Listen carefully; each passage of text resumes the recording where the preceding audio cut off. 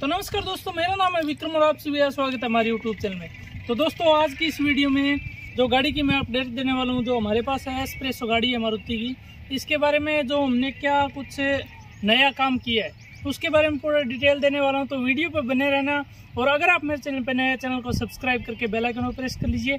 तो वीडियो करते हैं शुरू। तो दोस्तों, ये हमारी एक्सप्रेसो गाड़ी है तो इसका हमने क्या कुछ नया जो डलवाया है सामान है, वो उसके बारे में मैं डिटेल में बताने वाला हूँ, क्योंकि हमारी जो गाड़ी है, अभी तक चल चुकी है, एक लाख तीन हज़ार के करीब चल चुकी है। मैं अभी आपको दिखा देता हूँ, इग्निशन ऑन करके।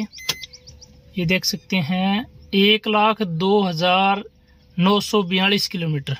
तो अभी एक लाख तीन हज़ार चलने वाली है तो अभी क्या हमने कुछ नया किया इसमें? वो पूरा डिटेल में दिखाने वाला हूँ तो वीडियो को लास्ट तक देखना और ऐसी गाड़ी से रिलेटेड वीडियो देखने के लिए हमारे यूट्यूब चैनल को सब्सक्राइब ज़रूर करें। तो दोस्तों, गाड़ी को एक लाख तीन हज़ार किलोमीटर चलाने के बाद आज हमने फाइनली जो टायर है, वो नए डलवा लिए हैं। देख सकते हैं यहाँ पे। अभी डलवा के आए हैं, अभी देख सकते हैं, एक सौ पैंसठ सत्तर आर चौदह। तो चौदह इंच के टायर है।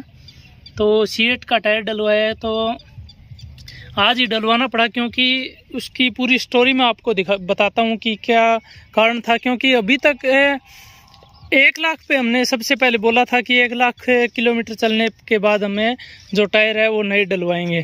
तो पहले, उसके बाद हम चलाते रहे गाड़ी को, हमने सोचा चलती है, गाड़ी चलाते रहेंगे। तो अभी क्या जो मजबूरी रही उसके कारण डलवाना पड़ा? हनुमानगढ़ गए थे हम रात को तो हनुमानगढ़ से वापस आ रहे थे, कल सुबह गए थे। तो वापस आते टाइम में हमारी गाड़ी रास्ते में टायर पंचर हो गया था। तो वो उसके अंदर ट्यूब डलवाई हुई थी, जो इसके अंदर ट्यूबलेस टायर है। तो टायर काफ़ी घिस गया था, इसके कारण ट्यूब डलवा ली थी पहली। काफ़ी पहले डलवा ली थी, लगभग पिचासी नब्बे हज़ार किलोमीटर चली थी तब। तो वो टायर पंचर हो गया और लगभग वो टायर एक किलोमीटर तक चल गया था। तो एक किलोमीटर चलने, चलता रहा चलता रहा, हमें पता नहीं चला। तो जैसे कुछ जो आवाज़ आई नीचे से तो हमने गाड़ी को रोक के टेस्ट किया। तो वहाँ पे देखा कि टायर है, पूरा जो है, पंचर, जो ये पिछले वाला टायर है, ये पंचर हो गया था। तो इसका, इस टायर की क्या हालत हुई है, वो मैं आपको दिखाता हूँ। उसके कारण हमें टायर नए डलवाने पड़े। तो काफ़ी बहुत ज़्यादा गर्म हो गया था टायर को, एकदम हाथ भी नहीं लगा पा रहे थे। तो उसकी टायर की क्या हालत है वो आपको मैं दिखाता हूँ। जो टायर था। तो देख सकते हैं दोस्तों, ये साथ में लेके घूम रहे हैं क्योंकि अभी गाड़ी में टायर डलवा के आए ही थे घर पे। तो अब मैं सोचा आपको वीडियो बना के अपडेट कर देते हैं। ये देखिए, ये हालत हो गई थी रात को गाड़ी की। काफ़ी ज़्यादा गर्म हो गया टायर, ये देख सकते हैं, पूरा एकदम घिस चुका है। निशान नहीं है, कहीं पे भी कई कई जगह निशान बने हुए हैं। तो पूरा जो जगह जगह से जो तार है, इसके निकल गए। मैं आपको और भी दिखा देता हूँ। साइड से निकले हुए हैं। ये देख सकते हैं। ये रहे। ये रहे। पूरे ये वायर निकल चुके हैं तो हमने आज फैसला लिया कि टायर डलवा लेते हैं, वरना और भी अगर चलती गाड़ी में अगर टायर फट जाता है आगे का तो काफ़ी नुकसान भी हो सकता है।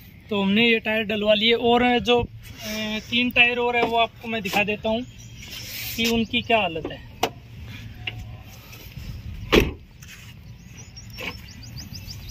ये देख सकते हैं। चार टायर ये रहे? ये देख सकते हैं क्या हालत है टायरों की।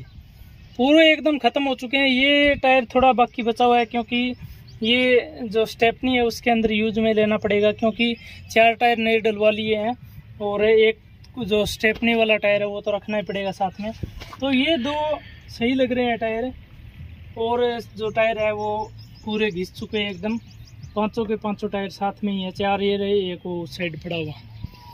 तो देख सकते हैं, जो ये वाला स्टेपनी का टायर है, इसके इसको थोड़ा तैयार करवाना पड़ेगा, क्योंकि स्टेपनी की वैसे तो ज़्यादा ज़रूरत पड़ती नहीं है। अगर कहीं पे भी ज़रूरत है जो ट्यूबलेस टायर होता है, उसके अंदर एकदम से हवा नहीं निकलती। तो साथ में तो रखना ही पड़ता है। तो ये देख सकते हैं, ये अंदर डाल लेते हैं। तो ये था दोस्तों, और तो थोड़ा बहुत मॉडिफिकेशन करवाया था।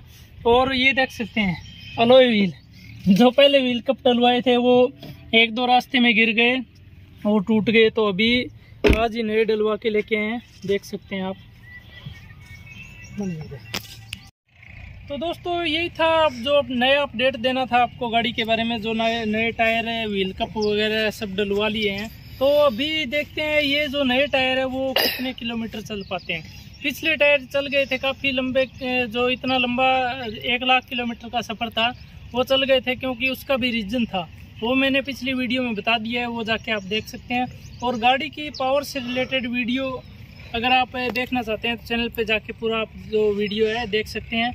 और अगर आपके आपके पास कोई गाड़ी है, उसमें मॉडिफिकेशन वगैरह क्या कुछ रहता है वीडियो बनवाना चाहते हैं तो आप कमेंट करके बता सकते हैं। कमेंट कर देना, हम जो आपसे जो कांटेक्ट कर लेंगे। तो यही था दोस्तों वीडियो में। अगर आपको वीडियो पसंद आई वीडियो ज़्यादा से ज़्यादा लाइक शेयर करें। तो मिलते हैं इसके नेक्स्ट वीडियो में, तब तक के लिए बाय